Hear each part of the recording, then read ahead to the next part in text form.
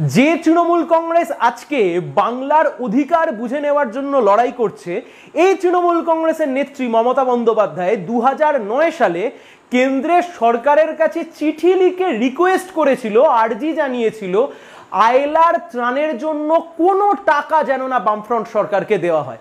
একবারের জন্য ভেবে দেখুন, আজকের দিনে দাঁড়িয়ে দেবাংশু বলছে, বাংলা তার অধিকার বুঝে নেবে। মমতা বন্দ্যোপাধ্যায় বলছেন বাংলা তার অধিকার বুঝে নেবে। হকেরটা বাংলা বুঝে নিতে সরকারি কর্মচারীরা যখনই ডিএ চেয়েছেন রাজ্যের মুখ্যমন্ত্রী বলেছেন আপনি ঘেউ ঘেউ করবেন না রাজ্যের সরকারের কাছে এত টাকা নেই। কিন্তু অদ্ভুতভাবে রাজ্যের সরকারের মেলা করবার জন্য খেলা করবার জন্য ক্লাবকে দেওয়ার জন্য প্রচুর টাকা ছিল কিন্তু ডিএ দেওয়ার জন্য টাকা ছিল না। আজকে সকালবেলায় ফেসবুকটা স্ক্রল করতে করতে হঠাৎ একটি ভিডিও দেখতে পাই। দেবাংশু ভট্টাচার্য, তৃণমূল কংগ্রেসের মুখপাত্র, তিনি একটি ভিডিও করেছেন যে ভিডিওর মূল টপিক উড়িষ্যার যিনি মুখ্যমন্ত্রী আছেন, নবীন পট্টনায়ক, তিনি টাকা চাননি কেন্দ্রের কাছ থেকে, কারণ কেন্দ্রের অবস্থা খারাপ, আর মমতা বন্দ্যোপাধ্যায় টাকা চেয়েছেন, এই বিষয় নিয়ে উনি একটি ভিডিও করেছেন। এখন আমাদের ভিডিওর টপিক নবীন পট্টনায়ক নন। তার কারণ নবীন পট্টনায়ক উড়িষ্যার মুখ্যমন্ত্রী, তিনি টাকা চাইবেন কি চাইবেন না, সেটা তার ব্যক্তিগত বিষয়, সেটা তার প্রশাসনিক বিষয়।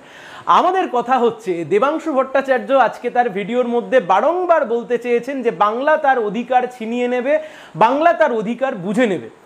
দেবাংশু, তোমার নিশ্চয়ই মনে আছে এই যে ঝড় ইয়াস হলো, গত বছর যে আমফান হলো, ঠিক একই রকমভাবে দু নয় সালে একটি ঝড় গোটা দক্ষিণ চব্বিশ পরগনা জেলাকে কার্যত ধ্বংস করে দিয়েছিল, সুন্দরবন ব্যাপকভাবে ক্ষতিগ্রস্ত হয়েছিল। এই সুন্দরবন যখন ক্ষতিগ্রস্ত হয়, রাজ্যের মুখ্যমন্ত্রী হিসেবে বুদ্ধদেব ভট্টাচার্য সেই সময় কেন্দ্রীয় সরকারের কাছে চিঠি লিখে সাহায্য চান। এবং তার সাথে সাথেই সুন্দরবনের যে বাঁধ, সেই বাঁধ মেরামতির জন্য টাকা চাওয়া হয়। মমতা বন্দ্যোপাধ্যায় সেই সময় ছিলেন বিরোধী নেত্রী। পরবর্তী সময় ইউপিএ টু সরকারের রেলমন্ত্রী ছিলেন, মনমোহন সিং সরকারের রেলমন্ত্রী ছিলেন মমতা বন্দ্যোপাধ্যায়। যে তৃণমূল কংগ্রেস আজকে বাংলার অধিকার বুঝে নেওয়ার জন্য লড়াই করছে, এই তৃণমূল কংগ্রেসের নেত্রী মমতা বন্দ্যোপাধ্যায় দু হাজার নয় সালে কেন্দ্রের সরকারের কাছে চিঠি লিখে রিকোয়েস্ট করেছিল, আর্জি জানিয়েছিল আয়লার ত্রাণের জন্য কোনো টাকা যেন না বামফ্রন্ট সরকারকে দেওয়া হয়। একবারের জন্য ভেবে দেখুন, আজকের দিনে দাঁড়িয়ে দেবাংশু বলছে, বাংলা তার অধিকার বুঝে নেবে। মমতা বন্দ্যোপাধ্যায় বলছেন বাংলা তার অধিকার বুঝে নেবে। হকেরটা বাংলা বুঝে নিতে জানে। কিন্তু এই আমফান ইয়াসের মতোই যে সময় আয়লার ঝড় হয়েছিল। আয়লার ফলে যখন ক্ষতিগ্রস্ত হয়েছিল সুন্দরবনের মানুষ সেই সময় কেন্দ্রের সরকারের কাছে যখন রাজ্যের সরকার টাকা চাইল কেন্দ্রের সরকার টাকা পাঠানোর পরিকল্পনা করতে শুরু করল সেই সময়তে মমতা ব্যানার্জি এবং সিএম জাটুয়া চৌধুরী মোহন জাটুয়া দুজনে মিলে চিঠি লিখে সেই সময়তে কেন্দ্রের সরকারকে বলেছিলেন, না, এই টাকা আপনারা রাজ্যের সরকারকে দেবেন না।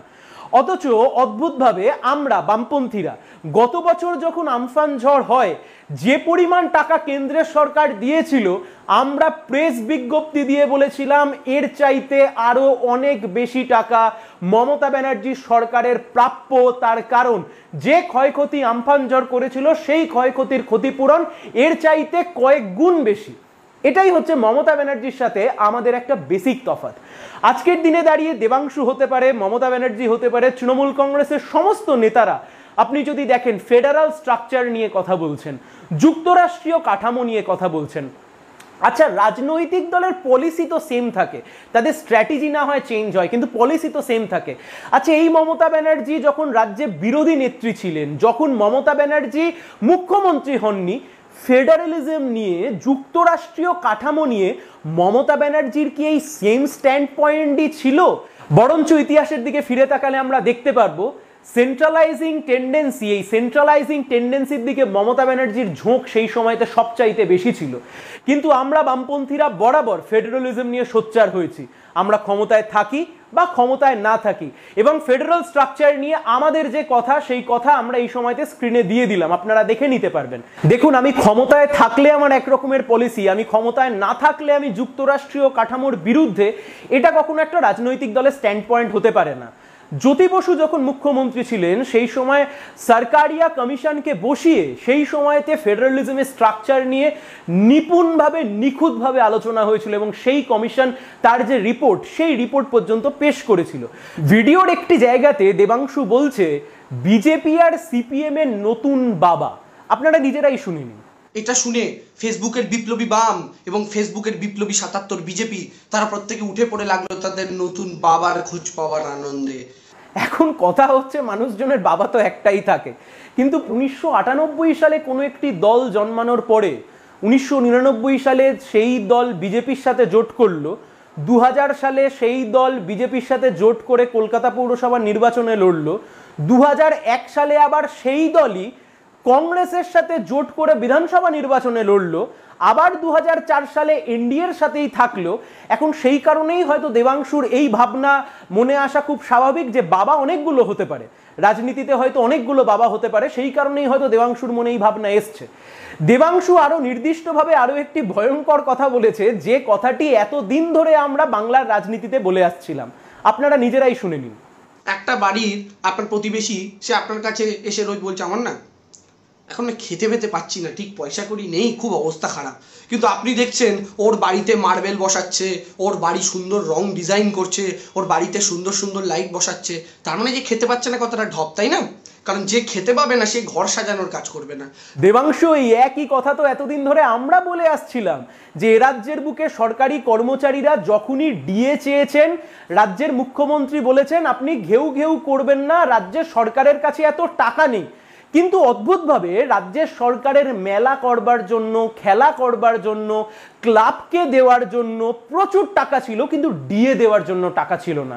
তাই দেবাংশুর কথা অনুযায়ী রাজ্যের সরকার বা রাজ্যের প্রশাসন বা রাজ্যের প্রশাসনিক প্রধান সেই সময় ঢপ দিচ্ছিলেন। গোটা ভিডিও জুড়ে দেবাংশুর রিলিফ ফান্ডের সাথে জিএসটিকে খুব সুন্দরভাবে গুলিয়ে দিয়েছে। এখানে আমাদের মনে রাখা দরকার জিএসটি বাবদ রাজ্যের সরকার কেন্দ্রের সরকারের কাছ থেকে একটা বড় অংশের টাকা পায়। কিন্তু মমতা ব্যানার্জি যে কুড়ি হাজার বা তিরিশ হাজার কোটি টাকা কেন্দ্রের কাছ থেকে চেয়েছেন, সেই টাকাটা কিন্তু উনি জিএসটি বাবদ উনি চাননি। উনি সেই টাকাটা চেয়েছেন ক্ষয়ক্ষতির জন্য। এবং এই টাকা রাজ্যের সরকার পেতে বাধ্য। তার কারণ কেন্দ্রের সরকার এরকম একটা ডিজাস্টারের সময়তে, এরকম একটা ক্ষয়ক্ষতির সময়তে কেন্দ্রীয় সরকারকে এই টাকা দিতে হবে। কিন্তু ভিডিওতে খুব সুন্দরভাবে দেবাংশু রিলিফ ফান্ডের টাকার সাথে জিএসটির টাকাকে গুলিয়ে দিল। নবীন পট্টনায়কের টাকা না নেওয়া নেওয়া নিয়ে, চাওয়া না চাওয়া নিয়ে সিপিআইএম একটাও এখনও অবধি কোনো অফিসিয়াল প্রেস বিবৃতি দেয়নি। কিন্তু দেবাংশু খুব সুন্দরভাবে সিপিএম এর নাম করে গোটা ভিডিওটা চালিয়ে দিল। পরিশেষে একটাই কথা দেখুন, এই যে ভয়ঙ্কর সময়ের মধ্যে দিয়ে আমরা যাচ্ছি, এই সময় থেকে যদি আমাদেরকে কাটিয়ে উঠতে হয়, তাহলে কেন্দ্রের সরকারের যে সাহায্য, সেই সাহায্যের প্রয়োজন। শুধু তাই নয়, কেন্দ্রের সরকার যে পাঁচ হাজার বত্রিশ কোটি টাকা পাঠিয়েছিল, যে টাকায় মাত্র বাহাত্তর কিলোমিটার বাঁধ তৈরি হওয়ার পরে চার হাজার কোটি টাকা ফেরত চলে যায়। এবং দু হাজার চোদ্দ সাল থেকে আজকে দু হাজার একুশ সাল তৃণমূল কংগ্রেস একবারের জন্য সেই টাকা না কেন্দ্রীয় সরকারের কাছে চেয়েছে আর না কেন্দ্রের সরকার একবারও সুন্দরবন প্রকল্পের জন্য রাজ্যের সরকারকে সেই টাকা দিয়েছে। সুতরাং আজকে এই ইয়াসের সময় গোটা বাংলা যখন কার্যত বিধ্বস্ত হয়ে গেছে, সেই বিধ্বস্ত বাংলা থেকে ঘুরে দাঁড়ানোর জন্য রাজ্য এবং কেন্দ্রের সহযোগিতা, সেই সহযোগিতা একান্ত প্রয়োজন। আমফানের সময়তেও আমরা যে কথা বলেছিলাম কোনো দয়ার দান নয়, যুক্তরাষ্ট্রীয় কাঠামো অনুযায়ী রাজ্যের সরকারকে এই ডিজাস্টারের সময়তে কেন্দ্রের সরকার হেল্প করবে, সেটাই স্বাভাবিক, সেটাই সাংবিধানিক নিয়ম। সবাই ভালো থাকবেন, সুস্থ থাকবেন।